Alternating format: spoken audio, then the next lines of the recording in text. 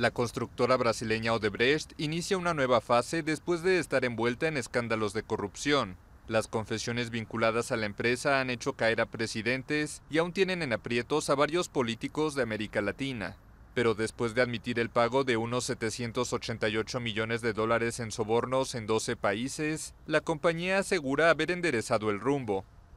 Olha, mas é sem dúvida, o momento mais crítico da companhia já passou. Sin duda el momento más crítico de la compañía ya pasó. Nos enfrentamos a un desafío grande, pero con un proyecto de transformación muy robusto. Com toda a nova governança. La compañía, con nuevo liderazgo, con nueva gobernanza y con nueva agenda de conformidad, creo que lo peor ya pasó. E o pior já passou nesse sentido. La nueva directiva asegura que Odebrecht se transformó y que es merecedora de la confianza de la sociedad.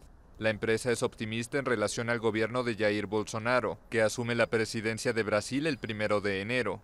La expectativa es muy positiva. Es un gobierno que fue electo bajo la bandera anticorrupción. Entonces las empresas que firmaron acuerdos de lenidad, que hicieron grandes procesos de transformación, que tienen una agenda de conformidad implementada, ven en ese sentido un ambiente mucho más propicio al desarrollo de sus negocios.